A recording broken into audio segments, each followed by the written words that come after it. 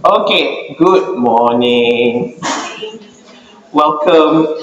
I mean, like, if you're first time here, welcome to Faculty of Agriculture, Department of Crop Science. Hi. How are you feeling? Good. Yeah. Anybody fasting? no. If you want to fast, it should be uh, yesterday. Right. So thank you for coming. Actually, this is the first um, such session conducted in our department.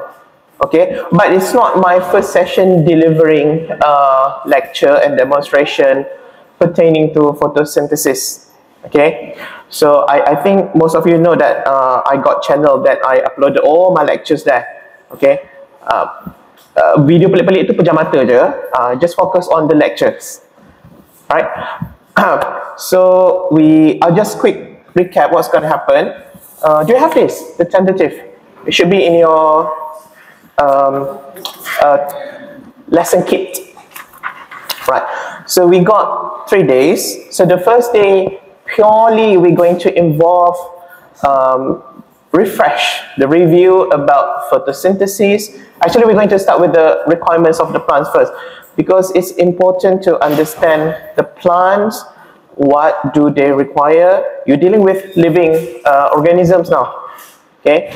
And then we're going to look at the photosynthesis. Do not be afraid. I don't go too crazy with the photosynthesis. I mean, like I have eliminated lots of the biochemical reactions and stuff, but sufficient enough for you to understand and to operate this machine correctly, right? And then we're going to have a break uh, in the afternoon. When we come back at 2 p.m., we're going to continue with chlorophyll fluorescence. If this is your first time learning fluorescence, not to worry. We're going to understand because fluorescence is actually not really biology. It's actually a physical phenomenon, right? Do you like physics? Usually people in, in, the, in the biology uh, line, they don't really like physics. You know, see all the symbols and equations. Yeah, it seems a bit overwhelming. Right, so um, do get your notes. Uh, you see, it's very special. Your notes all fully colored. Right, and for the second day, we're going to learn how to operate the machine. We got two machines. So we're going to have both machine here, in this bench here, in this bench here. For that, I will be doing the instruction and you will have officers uh, to assist you with um, how to do the machine setting.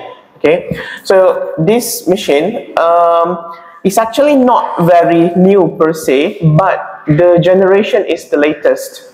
So this particular uh, portable photosynthesis system uh, was launched in 2006 and since then it has undergone a few facelift. You know, pretty much like a car, right? Yeah, you go every every two or three years, the manufacturer will give a new uplift boost um, to the appearance.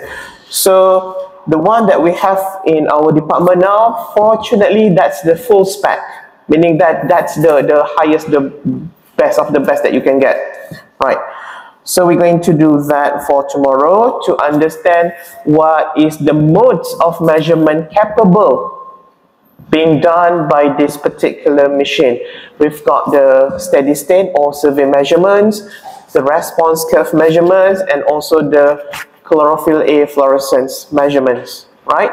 Okay, and well, in the afternoon for the second day, we are also going to learn some tips and tricks if your plants are not behaving the way they should or the way you expect. We got three plants, uh, later on you will see, to show you the, the diversity of the measurements that can be done by this machine.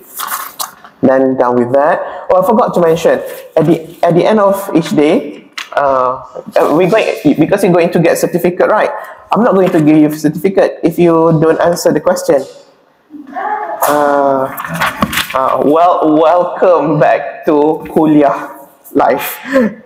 yeah. Not to worry, you can bring back to home uh, in the, at the end of the first day, uh, you take back the assessment. It's open Chrome. Ask grandma, ask ancestor, ask everybody you want to ask. Don't mind. Yeah. Is, is husband not helpful? Go ask neighbors. Right. Right. So we do the same thing for the second day as well and that actually, you know what, assessment is good. I don't want you to get 100 full marks as well. I just want your brain to make the connection, okay? So the reason why people do not do this kind of training is because even though they are super skillful in dealing with the machine, doing various stuff with the machine, teaching is another thing, okay? Teaching, you need to understand how the students' brains working. So that's why we do the assessment. Then finally, for the third day, um, what's this? Yeah, we're going to see how, uh, you have taken the all the measurements, right? All the fancy data in the machine. How to extract the data, and then how to understand the data. Okay, because these data, the moment because this machine is very powerful, the moment you hit log, you're going to get like not one measurement you're going to get at minimum 50 different kind of measurements because this thing is filled with sensors. Right? So we need to understand which variables or which parameters that you should be interested with depending on your research questions. If your um, hypothesis designed in a certain way, which kind of variables that you should be, be focusing on right? So that would be happening uh, for the third day, and then we're going to learn the interpretation of it, right? Remember, negative result is result. Okay, don't throw any negative result out of the window, right? Because you're dealing with biology now. Just because your photosynthesis reads negative doesn't mean that it's it's not alive. Negative in, in photosynthesis means respiration right? So mathematical or numerical values in one hand, biological reasoning in another hand, bring them together, you got a beautiful conclusion to be drawn out of it, right? And for the final session for the third day, that for the consultation. Um, I strongly suggest if you have specific things to address or anything related, uh, give to the committee ahead of time. If you have data or something, you have, you, you have the committee, right? I'm not in your WhatsApp, I don't have WhatsApp, so very traditional, right? Um, if you do not have any question or maybe only some of you, we'll just discuss how are you doing in your assessment yeah, let's let let's see who's the scorer. All right. Okay, I think that's all for for the overview for the course. Any question before we start with the first session? Good, good. All right. I got my ma magic wand. Not only Harry Potter got it. Actually, mine, the one I use for my class is even longer. This actually broke. You know, okay. So we, we're going to look at this um, foundation of plant requirements. You know, plants are living organisms. When you are alive, you must, your existence must be fulfilled. Otherwise, you'll stop from living. Okay? If you look at the stone, the pebbles on the road, they're pretty much there. They can be there for millions of years, you know, since dinosaur time. Nothing happened to it because they don't have any specific requirement. Their existence just be there. They're going to change, maybe due to the weathering process and so on, but pretty much they don't need specific requirements. But plants, like us, specific requirements must be met. To enable the plant to complete its life cycle. In, in the context of agriculture, this is very important because if you think about it, Agriculture, horticulture is all about harvesting the organs of interest from the plant. Some plants you harvest the leaf. Some plants you harvest the fruits or the roots or the stems. Right. So in order for the plants to produce these organs abundantly for your benefit, you need to fulfill its requirement.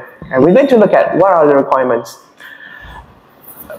I created this uh, formula a long time ago. Um, don't look up the textbook. This is not in textbook. So I call this as a allowing formula. Okay, A L W N G. These are air, light, water, nutrient, and growth manner. All of these to allow what exactly? For the plants to grow healthily, for the plants to develop normally, which is very important. If, if the plants do not develop normally, you're not going to get your organs of interest. And since agriculture is business, it's actually for the human livelihood, right? So once you have fulfilled of this, regardless where you put your plants in, even in the International Space Station, you know we have one right orbiting our planet, you can grow the plants. So these are the formula that the NASA people use as well to enable the plants to live in just about anywhere. Gravity is not a requirement, by the way. Right? So let's see in greater details. What are they? So air. So there are four main components when talking about the air. Got the humidity, oxygen concentration, temperature, and also um, CO2 concentration. For the temperature, temperature is actually the measure of kinetic um, energy or motion of molecules in any given medium, right?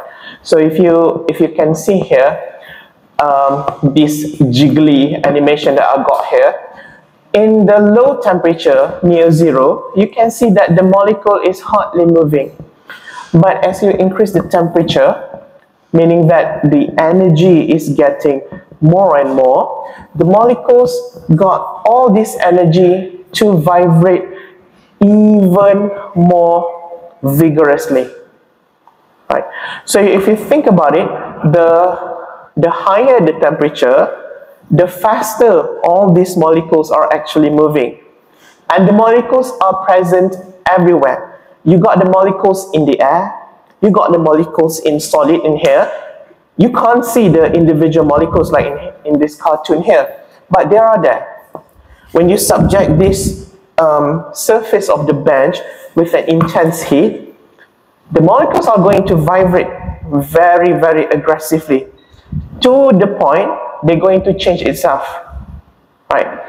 And this temperature in the context of plant growth, it's very important because plants pretty much like us, carry out various biochemical reactions. And all these reactions are temperature dependent.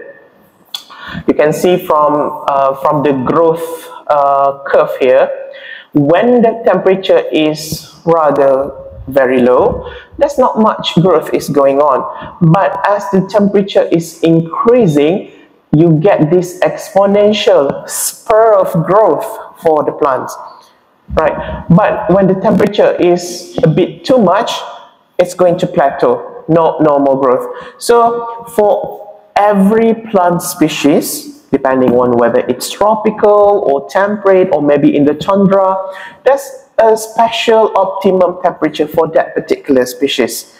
Right. So you can see here, this is a, a regular grass here. You can see that for this particular plant, the optimum temperature is about 30, this is actually day and night, okay? 30, 35, and so on. So we can make a conclusion even without people telling, this plant is actually tropical. It loves being in the warmth, right? And surprisingly, temperature also have impact in the soil, right? Think about it. plants is filled with proteins, right? So, so much protein, just like in you. these proteins, when they are in this super high temperature, what will happen? They got denatured, right? An egg, after you have boiled the egg, become a hard boiled egg, can you reverse it to become liquid? Even though I know there is a way, but it takes a lot of energy to reverse it. And very, very unpleasant, and people are going to look very wrong at you. It's pretty much irreversible because the protein is now natured, denatured. Right. Denatured protein in plants can't be used. The plants need to use extra energy to break them down and then to rebuild it. So this is actually costing the plant and the growth cannot proceed as one would expect. So it's very important, the temperature. And the relative humidity. Um, this is actually important if you are dealing with plants grow in the confined environment or controlled environment. The moment you see the word relative, you know that it's, it's, it is comparing it to something. But it's comparing to what? You see, for any given volume on our planet, let's say that this um, room, this room here, this lab here, the volume uh, fillable with any liquid is 1000 liter. Right. So when this room is being is able to be filled with 1000 liter that's the maximum capacity. But when you do the measurement perhaps you use a hygrometer when you do the measurement you only detect that's only 500 liters of water vapor in this room so the room capacity is 1000 liter. What you measure using equipment is only 500 liter. You see, there's a benchmark. This is the uh, instantaneous measurement. So that means this room relative humidity is said to be 50%. Right. So do you want a high humidity or low humidity? That actually a sweet spot for any temperature that you deal with. So there's a little chart here. So this chart tells you that if your temperature, let's say that our temperature, what's our temperature in our region? 30 perhaps. So for the 30 degree region, you would need your relative humidity or your region to be from this 6.4 to 10.6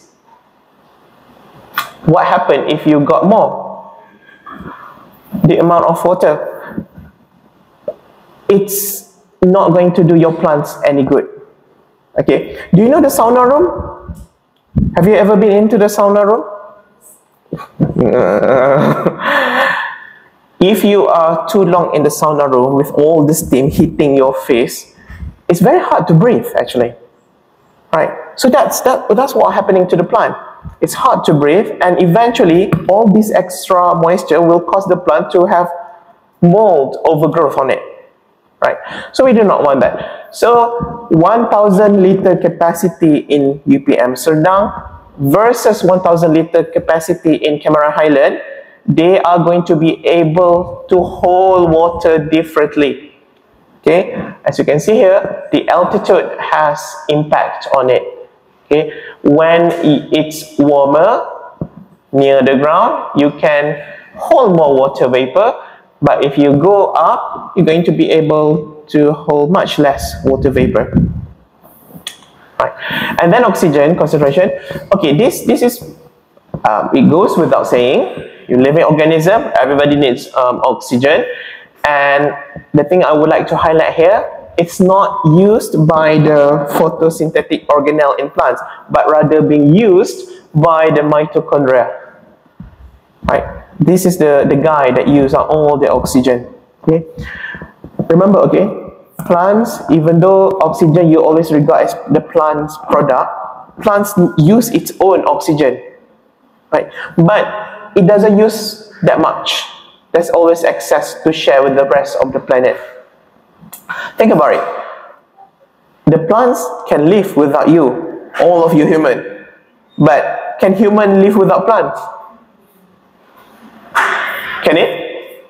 Can it happen? Okay. Oh, I can. I, I got my scuba tank going on. Yeah.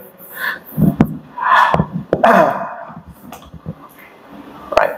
And CO2 concentration in the air. This is very important because this is one of the primary ingredients to run photosynthesis. This is the substrate used for photosynthesis. All the sugars that you have in your food all actually originated from CO2 in the air. It was once floating about in the air in the form of gaseous and now it's in the form of sugar that you can enjoy very sweetly. Right. So that is all chemical reaction taking place. Unfortunately, we can't do that. Plants, they have the genetic and uh, molecular components to do that. Right. The second component is light. Okay, I need to control myself when it comes to light because um, um, this is the physics thing I was talking about earlier. And it can be very scary. Up to this point, I don't I don't find people that can actually um, remember or connect the dots all the lights lessons that I've given. I do not understand why. But for orang putih, the moment I, I taught them, they kind of remember it. I do not know. Maybe they consume more omega three or something. so, so light. The second thing, also ingredient for photosynthesis. Not ingredient per se, but um, something to energize for the process to happen. You need to see light now, not in the sense of it just shines my life, it illuminates my present. You need to regard life now as a science approach is as an entity. Okay? Light, even though with all the advancement in technology now, is still regarded as an enigmatic entity, a mysterious entity. Why? Because light has dual nature. Okay, it can be present as wave, it can be present as a particle, all at the same time. So the duality nature of light make it somewhat uncertain whether to talk like in certain specific way or should we kind of uh, depending on your context we talk about light in the sense of energy today. Tomorrow we talk in the sense of uh, particles. Okay. So um, this duality nature kind of utilized by the plants to do photosynthesis plants actually know this light that coming towards it has this duality nature. So plants utilize this, right? And the third dimension of light that you know is photoperiod. Photoperiod is simply the how long the light is going on. Okay. so light quantity, light quality, and light duration. It's very, very important to understand this.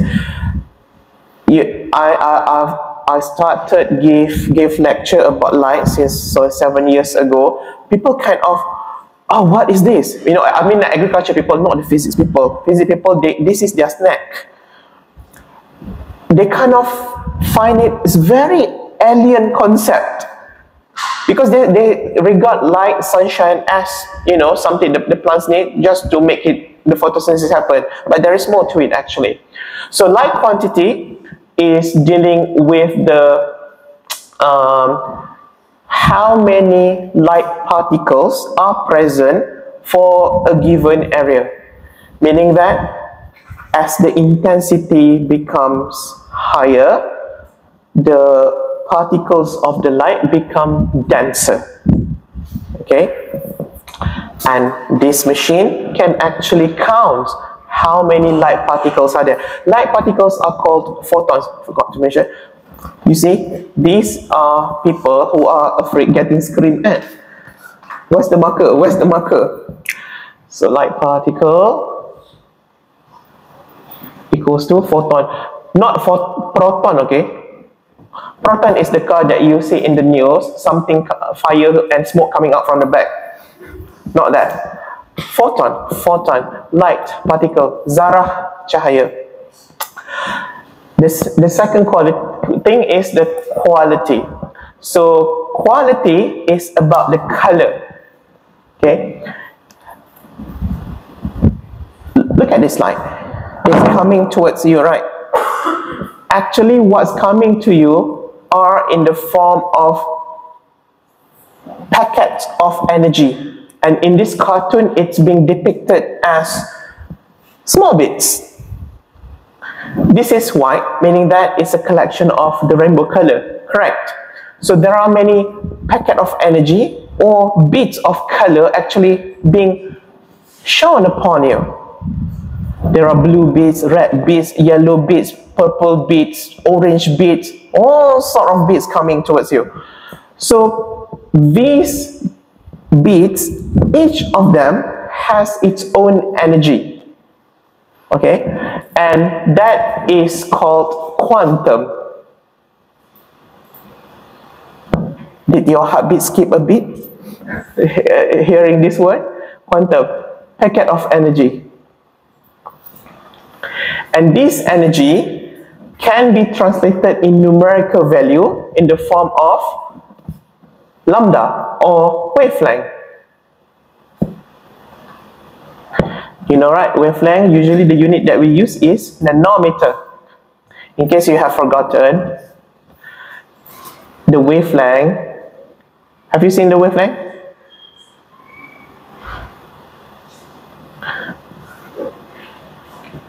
So this is one complete cycle, right?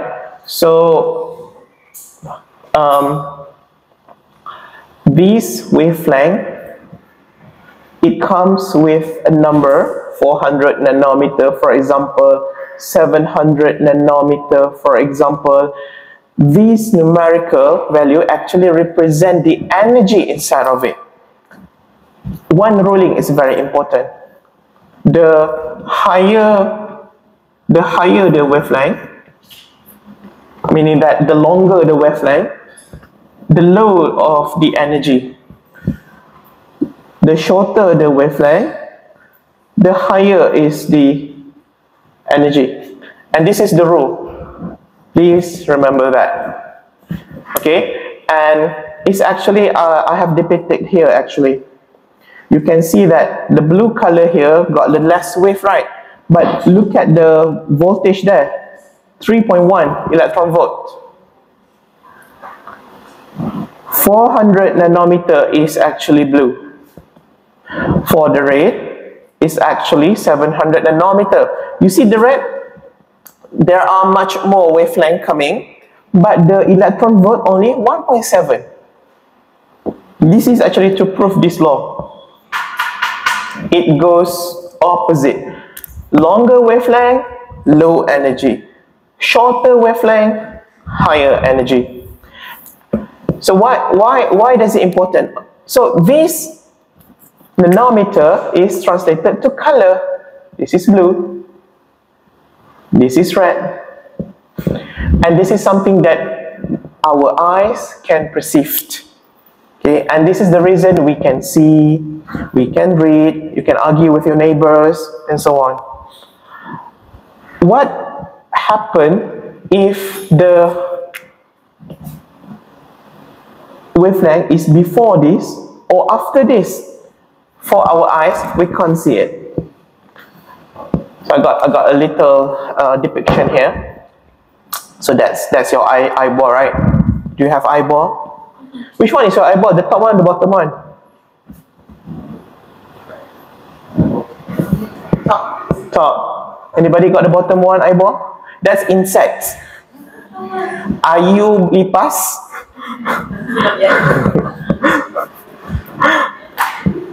insects yang fly selalunya uh, lipat eh no, don't be surprised a cockroach can fly uh, the when it's crawling creeping you call it lipas the moment it's flying you don't call it lipas anymore you call something else dia kalau orang takut, super takut tu, dia tahulah apa. Uh, terus keluar. lipas terbang, lipas terbang. Uh, including including the fly, the uh, lalat as well. Okay, this this thing here, um, the whole this we call it the light spectrum. It's from the heaven, not heaven Janatul Firdausi tu, bukan. From the sun. We call it this as a full spectrum cosmic ray. So our sun lots of chemical reaction going on, uh, nuclear fusion and so on, it will emit high amount of energy coming from it. And this energy is a full spectrum of light. Light in the range that you can see as well as the range that you can't see at all. So it's starting from the 0.1 nanometer all the way to infinity nanometer. The part that we can see is very small. It's actually between 400 nanometer and 700 nanometer. That's why I used this example earlier. And these are the only colors that our eyes can perceive. You, you know at the back of our eyes, your eyeball at the back, what is it? Bone.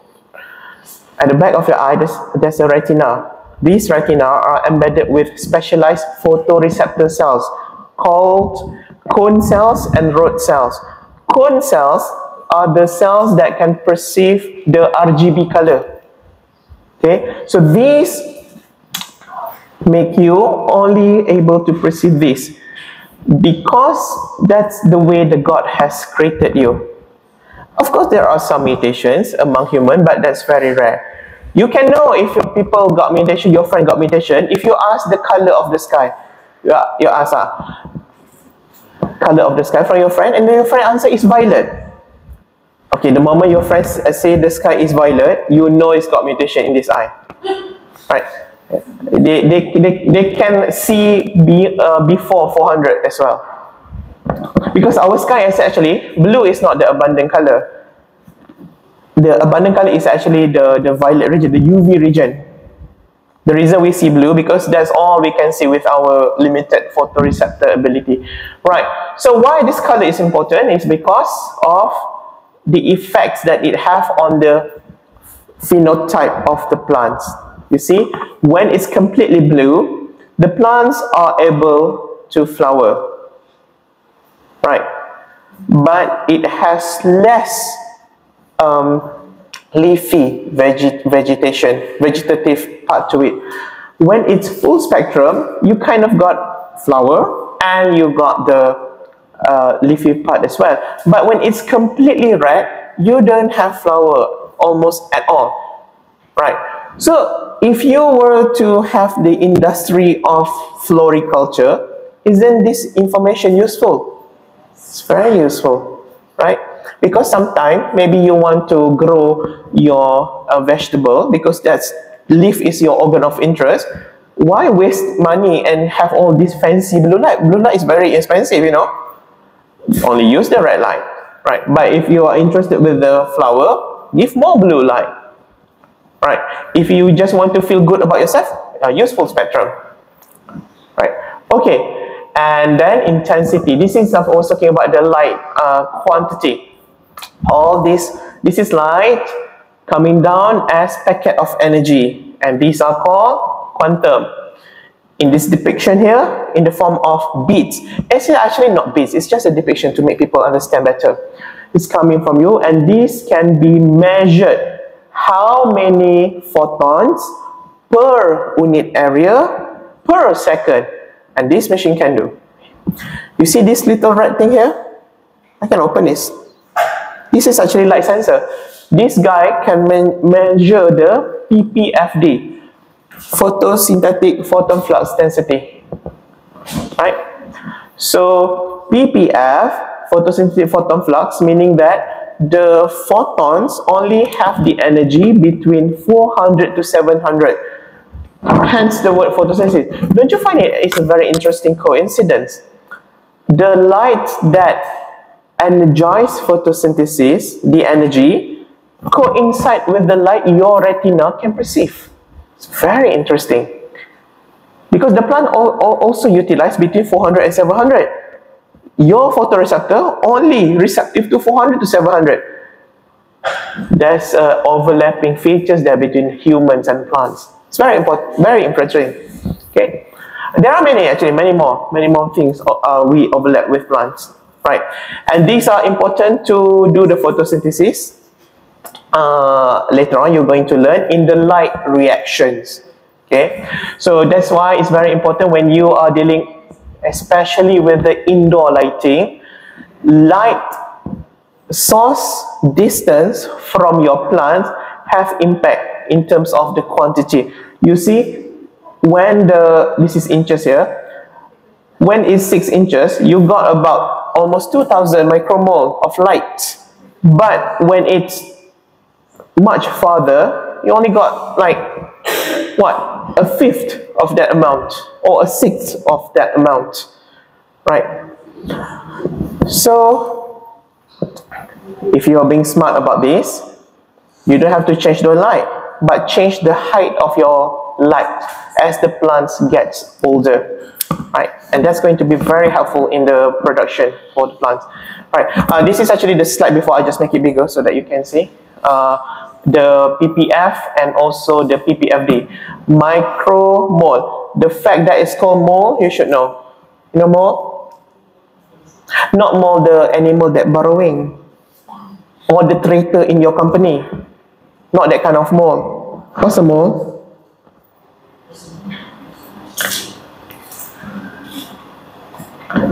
Any anybody want want to tell? What what's a mole? Siapa tak pernah tak pernah tahu mole? M O L. Bukan M O I, moi itu bubuk. Oh, semua orang tahu nama mole. What's more?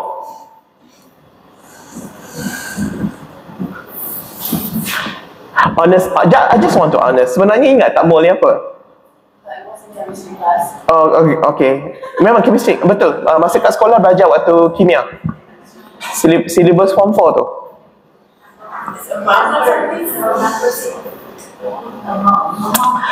You you can say that I like to do this sebenarnya um,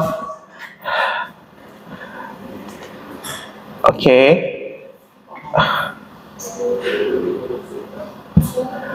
Very quickly, very quickly. When I say the number, you you tell me when I say the number pula. Eh, bukan betul lah. When I say the number, you tell me what words coming to your mind. Don't answer it with number. If if I say solo, one. One. If I say twin, two. If I say five. If I say dozen, twelve. Twelve. If I say abad or century, ten. Ten lah, hundred lah. Masa tahu? century. Hundred. If I say alaf, macam mana macam alaf baru? Thousand. If I say more? Uh, 6.02 times 10 to the power of 23. Banyaklah. Enam, ni kalau nak jadikan bahasa dia lah. Enam trilion trilion bilion ni 12 ini 9 12 campur 9 berapa? 21 21 100 6 trillion billion hundred banyak tak? banyak lah siapa yang banyak? ini banyak ke? yo dosa dosa kau yang tak bertaubat lagi 6 trilion bilion ratus banyaklah sebab dia 10 kuasa 23 banyak tu jadi bayangkan this machine can actually detect it oh, do you understand kenapa dia mahal sekarang Uh, itulah bilangan zarah cahaya. The number of light particles or photons per given area that this machine will tell you when you're doing the measurement, right? Okay. Right, and for photoperiod, this is simply about the, the, uh, the length of the light, okay? And in Malaysia, mostly plants are what we call as day neutral, meaning that it doesn't care whether the night is long or the uh, day is longer. They're going to flower when the time comes, okay? You know, if you go to Cameron Highland, you can see that uh, they are turning on this incandescent light hanging. Have you seen it? Kau tak nak pergi Cameron Highland? Kau pergi kau, kau pergi London terus. These these people they they selling the chrysanthemums. You see, chrysanthemums is a short day plant, meaning that as as long as the the day length more than 12 hours a day, they're not going to flower. So the producer, horticultural for producer in Cameron Highland, when they don't have any orders, they turn on the light uh, the whole night. Tak the whole night, maybe like 18 hours a day to suppress flowering from happening. But maybe next week, there is a landslide, lots of funeral to cater, they got lots of order, they stop the light, the plants flowering. Uh, so it's bad for the funeral people, but good for the ama doing the uh, chrysanthemum business, right? So this little trick can surprisingly create lots of money in, in, in certain industry, right?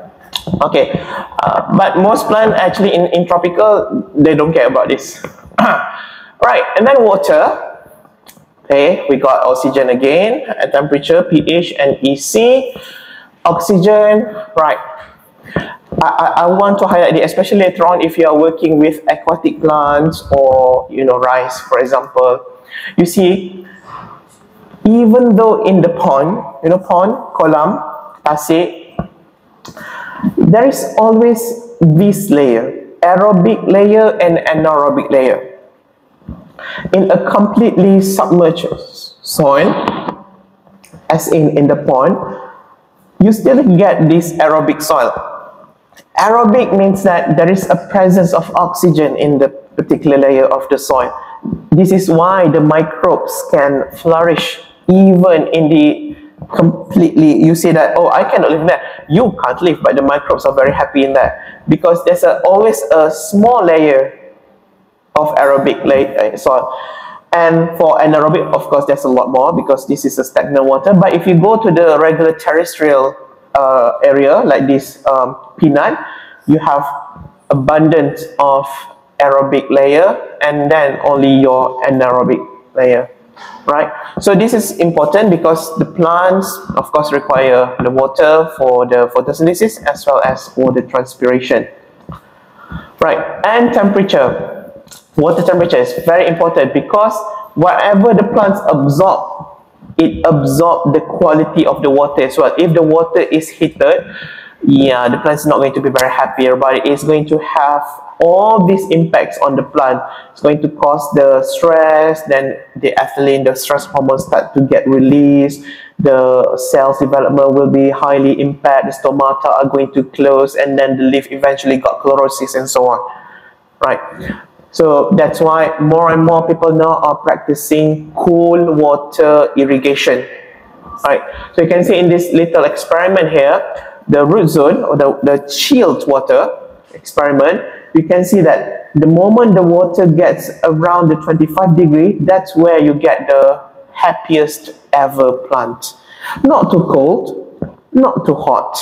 If it's too cold, you, you see the, the cooler the water gets, it becomes denser. Did You should know that.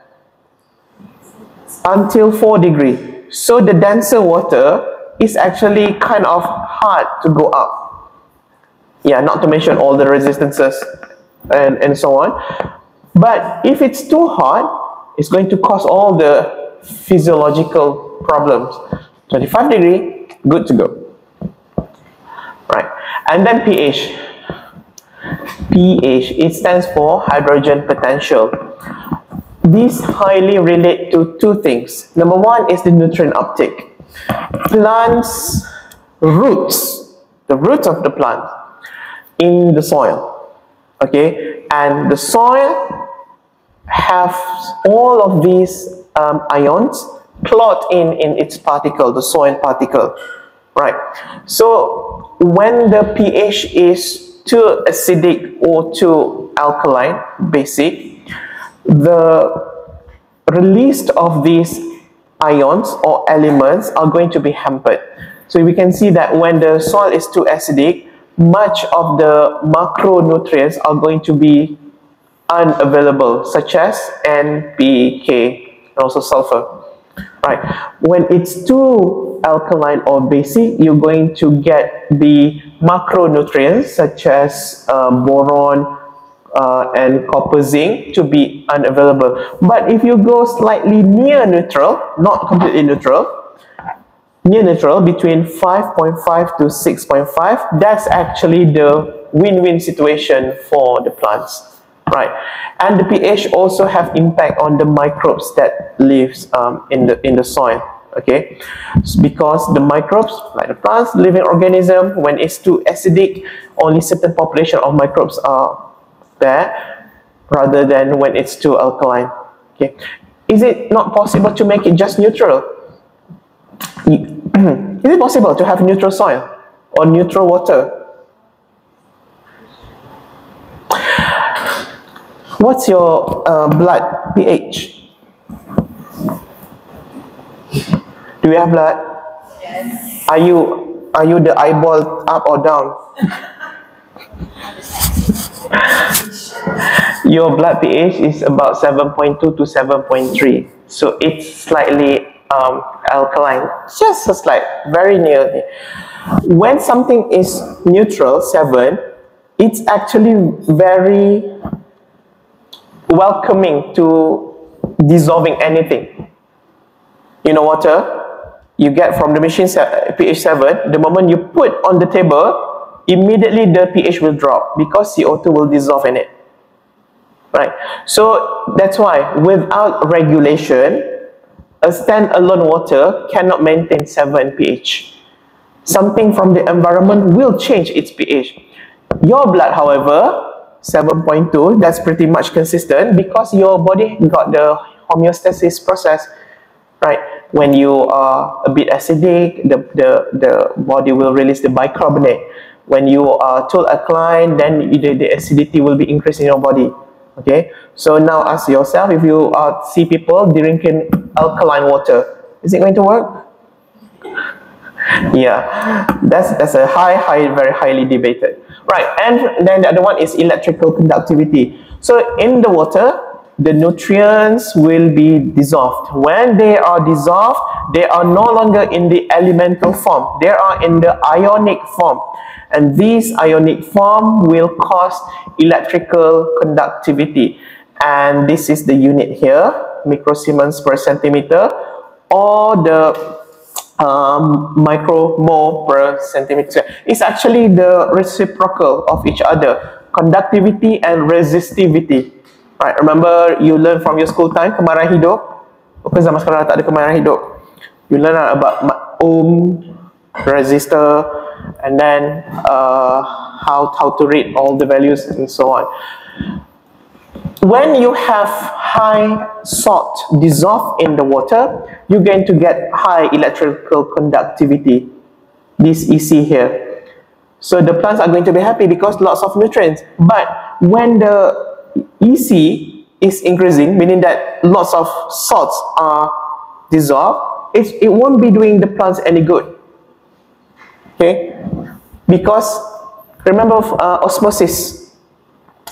When the concentration of the water becoming lesser and lesser, the system in, in the water actually will give up its own water uh, to the solution, right?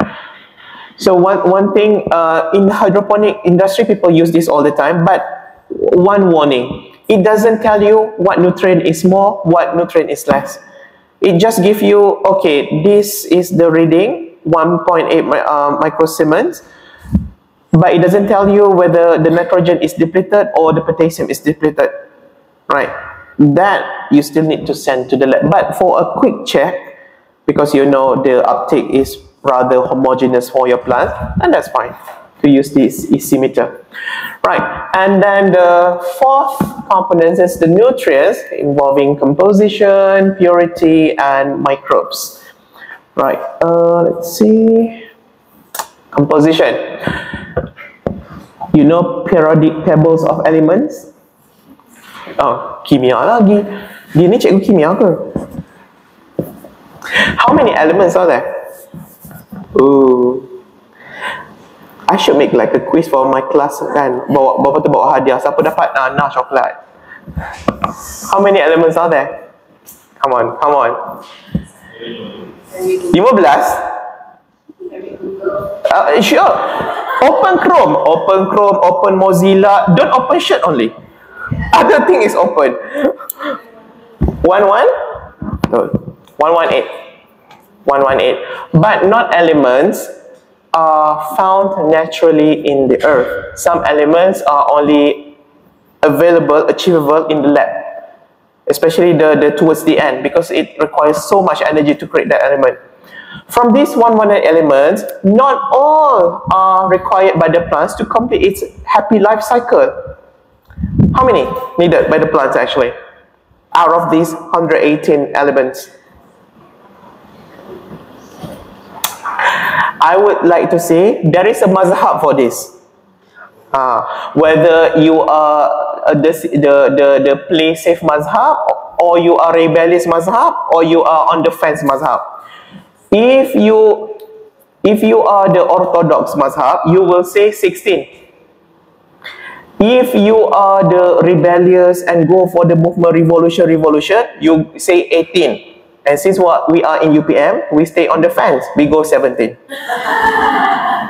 okay, so 17. And these are the elements. We got the non-mineral, the uh, carbon, hydrogen, oxygen. Then we got the primary or macronutrient, NPK, calcium, magnesium, um, and sulfur. And then micronutrient, boron, chlor chlorine, copper, iron, manganese, molybdenum, Si is actually kind of, uh, some people regard it, some re not regard it, sodium and zinc, right? So, what happened to the 18 one? They include vanadium. You know vanadium? Right? So, they include vanadium, that's why it's 18. But, um, let's, let's put it this way. Nomin uh, uh, the framework element, the non-mineral, CHO, and also the primary and secondary macro, regardless of the species, they always need it. But for the micronutrients, that's where the discrepancies come in. Some plants need more, some plants do not need at all. You know peanut? Peanut requires molybdenum and nickel to, to make the peanuts to happen. But if you give um, nickel to the uh, rice, the rice is not going to be so happy right, is, is actually kind of toxic to, to the plants, the nickel, right, okay. And the purity, uh, this is important if you are working, especially in tissue culture, you want to achieve certain percentage or weightage of the element, but your element never comes in pure form of it, okay. We're not talking about gold, you know, your 9999 gold, but it comes in the form of compound. So it's very important to recalculate this so that you get the element and also take into account the friend in the compound of element. Right. You know um, sodium and then you know chlorine. In the nature form, what, what, what, what is the state of this? Chlorine in the form of gas. Sodium in the form of solid. Sodium cube, if you slice and you throw it in water, it's going to boom Hiroshima again. It's very super reactive. Chlorine, you open the jar, you're going to see amine very soon. You turn blue first, of course. But sodium, and chlorine, when they are combined together, you got your table salt. And you put it in your in your cooking, and then the whole family happy. you see, you see, you see the, the, the context here. When they are alone, they're doing no good. But when they are brought together, they're very beneficial. Right. So it's it's the magic of chemistry. Right. And then microbes. Okay. These are if you're agriculture student, please, please, please remember this. When you fertilize the land, I know the, the our land for agriculture is highly utilized, heavily dependent on. When you fertilize um, ladang, land, or anything, uh, the medium, you are actually not only feeding the plants or your crops, you are actually feeding this whole microbes community. Right. So, one of the good approach to formulate the fertilizer is actually to pay some attention to what will make the microbes happy as well. Because when you are only focusing on NPK, NPK, NPK, there's a clear imbalance there when the microbes are unhappy, will the plant really be happy? You, you may get the plant to be happy for one season, but for the next season, you're not going to get the same yield. Right? It's pretty much like yeah, human, right? You, you, you, you are taking all this fiber and probiotics, you know, to keep your gut healthy. You know, the, the Vitagen uh, iklan, macam mana dia buat tangan tu? I, I, sampai sekarang tak reti buat. Macam mana? You know, kau, kau tak tahu aku cakap iklan apa ni? You know iklan yang dia buat uh, uh, sayangi perut anda. Why? If your own microbes in your gut is thrown out of balance, completely next morning you lausai. Confirm. Kau tahu kalau saya tahu apa? Cakap ke dia lausai tahu apa? Diarrhea lah. Dah lah. Kata, kata satu Malaysia ke slogan tu dah tak ada sekarang? slogan satu Malaysia dah tak ada. Uh, you, kalau tak all these people using all this language, kau tak faham sebenarnya mengata kau. Alright, okay.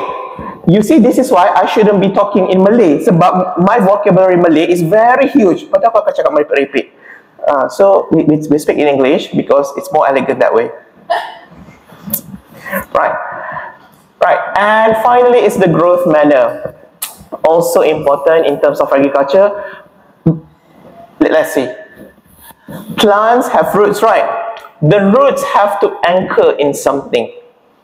And that's something, in nature, it's soil. But with the modern technology now, it doesn't have to be soil. It can be substrate.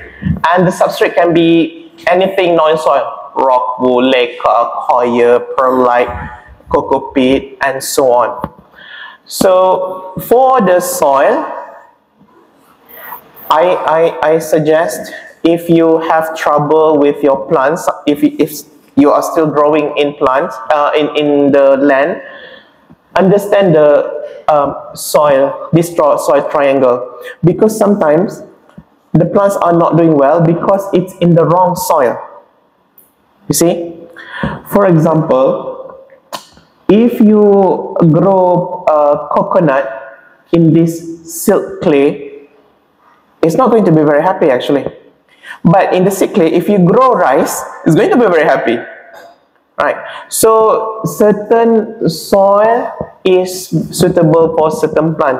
Not only because of the nutrient availability of the soil, but the texture of the soil because the roots is happy in that texture and that facilitates all this uh, cation exchange, right? So it's very important. So that's why I put growth manner, soil or substrate is very important. And finally is the spacing.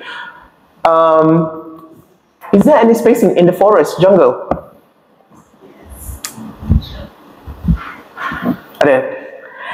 Yes, in a way, naturally, but it kind of happened accidentally, not purposely have the spacing.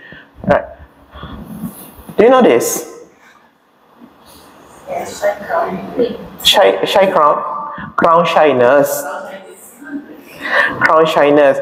So the plants actually, when they can't coexist, they have various ways to ensure that the competition is eliminated. For example, using allelopathy and so on. So I know in agriculture, you want to get the most out of your crop harvest.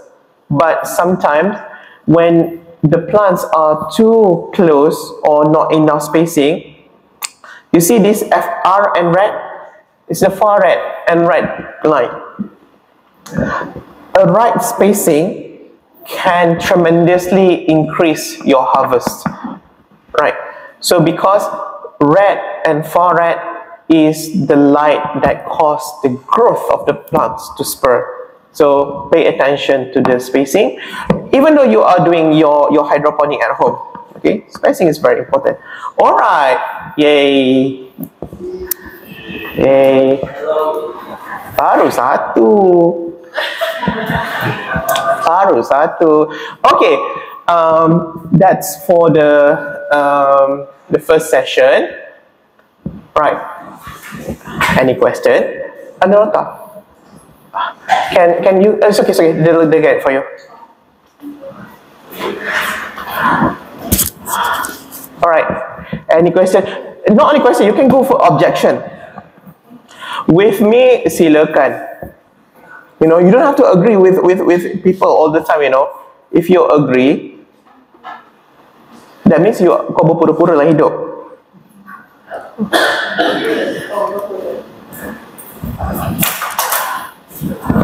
Okay. Alright. So that's the fundamental foundation of plants um, requirement. Okay. Uh, so, China. So we can take a 15 minute breaks. If you've got question, you can ask. Uh, I'm here, I'm not going anywhere. Any question? All good. If you're too shy, you can write surat layang and then send to front. Surat layang is accepted form of asking question.